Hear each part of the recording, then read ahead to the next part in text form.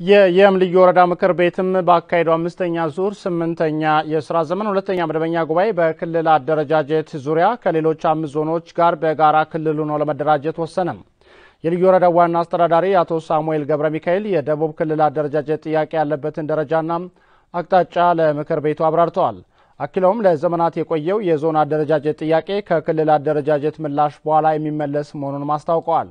በጉባኤው ላይ የተገኙት የደቡብ ክልል ብልጽግና ፓርቲ የመንግስት ረዳት ተጠሪና የክልሉና የልዩ ወረዳው ምክር ቤት አባል አቶ ይሁን አሰፋ በሰጡት አስተያየት የየም ሕዝብ ከጎረቤት ዞኖች ጋር በአንድነት ክልል ሆኖ ሲደራጅ ማህበራዊ ግንኙነቱ የበለጠ ይጠናከራል ብለዋል። ፍትሐዊ የልማት ተጠቃሚነት በሕግ ማዕቀፍ ታይቶ እንደሚሰራም የመንግስት ረዳት ተጠሪው መናገራቸውን ከልዩ ወረዳው የመንግስት ኮሚኒኬሽን የተገኘ መረጃ ያመላክታል።